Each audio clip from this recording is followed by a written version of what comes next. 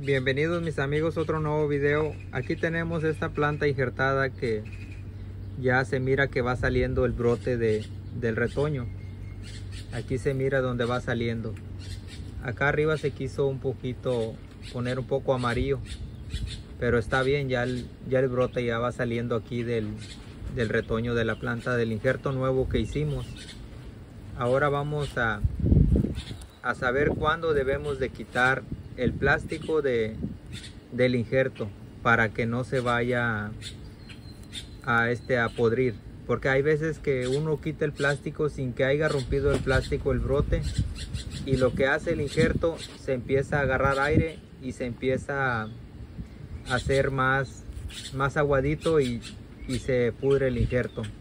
Por eso siempre uno tiene que quitar el, el plástico cuando ya lo haya rompido la, el brote del, del retoño que va a salir. Vamos a quitarlo, a cortarle donde está amarrado para que no se suelte y no agarre aire. Así se mira, vamos a quitarlo con cuidado para que no, si en caso que esté flojo el, el injerto no, no se vaya a caer o el brote que le va saliendo. Así se mira ya donde pegó.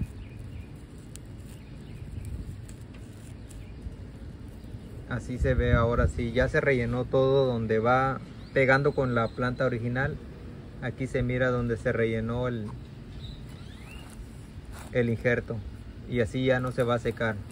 Se mira muy bien quedó parejito el el injerto donde lo pusimos en la planta nueva. Este es el brote que lleva que ya había salido del plástico. Ahorita sí ya no le va a pasar nada porque ya había rompido el plástico y y se mira bien.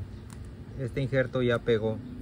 Ahora lo que vamos a tratar de ponerlo en la sombra un rato más para que no si lo ponemos directamente al sol lo puede quemar y podemos perder el injerto. Vamos a tratar de ponerlo bajo sombra algunos dos días o tres días para que se desarrolle su hoja y no le vaya a pasar nada al injerto también debemos de tener un poco de cuidado como ya quitamos el plástico del injerto que no le vaya a caer agua donde fue injertado la planta con el, el, color nuevo que le pusimos. Cuando le pongamos agua a la planta tratar de que no, no le vaya a caer agua aquí para que no podamos perder el injerto y se empiece a podrir. Siempre que le pongamos agua es tratar de hacerlo hacia alrededor nada más de la planta para que no, no vayamos a tener problemas si le cae agua aquí. Ahora vamos a esperar para que se vaya desarrollando cada día este injerto nuevo que hicimos de esta rosa del desierto. Este es el cuidado que debemos de tener cuando injertamos una planta y cuando retirar el plástico de la planta para que no perdamos el injerto nuevo que hicimos. Bueno mis amigos, no se les olvide suscribirse al canal y dejar su like. Nos vemos en un próximo video.